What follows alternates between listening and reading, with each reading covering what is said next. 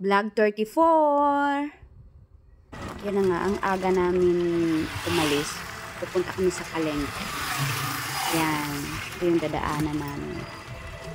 Ang aga-aga namin. 6.30 in the morning. Ayan, na nagja-jogging. Ang reels, Papunta na kami sa palengke at yan ang nakikita mo sa baba. Ayan na nga, nakarating na kami sa bagong silang palengke. Busy-busy ang mga tao. Ang daming-daming namamalengke dyan araw-araw. Dyan kasi ang medyo mas mura ng mga bilihin. Kaya ayan guys, mamili na tayo ang kukunin ko yung pang Shanghai. Ang Shanghai. Kasi pwedeng magpagiling dito guys. Kasali na yung ano, carrots at saka sibuyas. Sila na magbalat. Bibili ka na lang sana magbalat ng sibuyas, bawang, isali nila yun. At ayan na nga, lagyan na lang natin ng asin, bitchin, paminta, itlog, yan. Sasa. Tinanggal niya yung mga ano, wrapper. Para makapagbalot na kami. Hmm. Mga 5 minutes ko siyang hinalo. At ayan na. Mag-umpisa na kami magbalot. Seryoso lang ang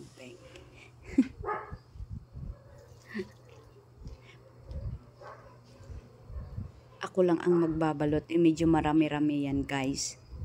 Kaya, mapabuntong hininga ka na lang.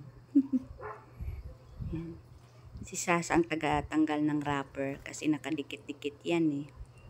Yan. Huwag natin masyadong liitan kasi pang ano lang naman. Pamkain. Pang pamilya, pambahay pang ulam, pang sariling ulam. Paborito kasi yan ng mga anak ko guys. Buti nang itong bunso ko magaling ng tumulong. Yung mga kuya niya tulog pa. Yan. Kanya lang kadali guys kasi mahal kapag bibili kang luto na eh. Kaya yan. naisipan kong mag para pang ilang araw namin yan. Basta naka-ref lang siya guys, hindi naman masisira yan. yan.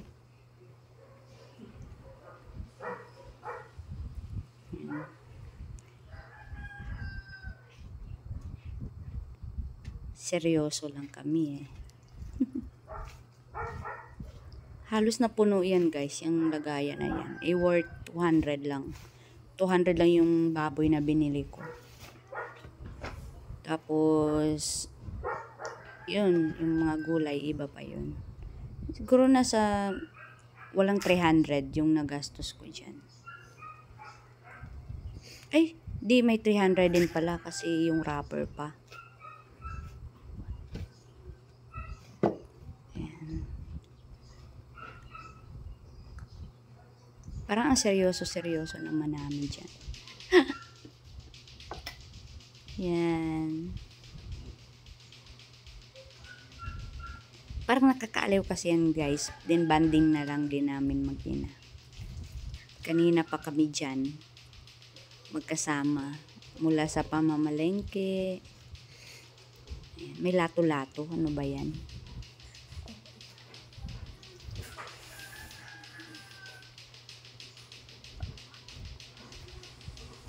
Yan guys. Pabalik-balik lang.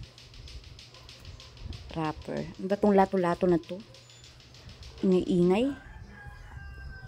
Buti naman tumahimik na.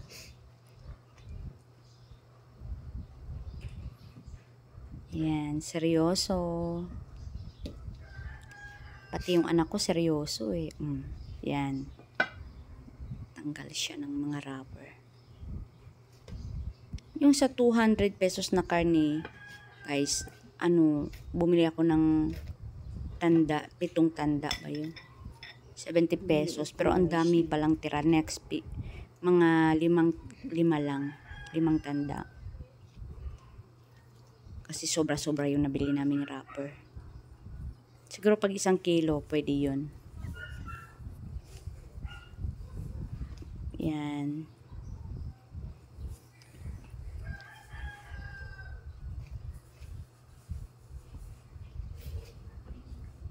Minsan nakakalimutan kung may video pala. Kaya, dapat nagtumbling-tumbling pala ako dyan. Joke lang. Yan guys. Nakakaaliw din magbalot. Nakakapagod nga lang siya. Pero, mas makakatipid kasi kaya, and go. 'Di ba?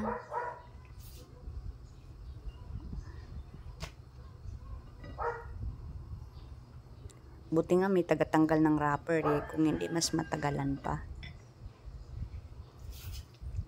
Ayan guys. Pero nakakaaliw din.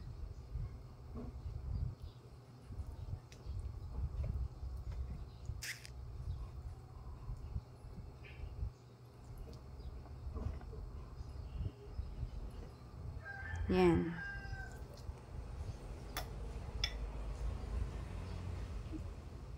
Dapat tikman nyo din guys kung pwede naman tikman yan.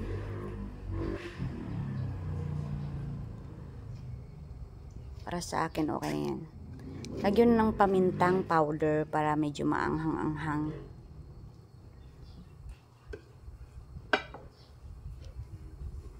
Yan.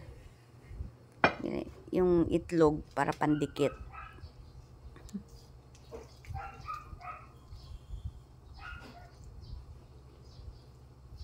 Aga kasi namin nagising. Kaya parang inaantok pa. Nakakalimutan ko kasi minsan na nagbibideo ako. Ayan na guys, yung worth 200 or mga 300 kasali yung mga gulay. Ang dami-dami naman na. Hindi nalugi. Tapos ikaw pa ang gumawa. Kaya, diba? Ihati ko yan sa gitna. Ayan na. Tingnan ni Sasa at ang sarap daw.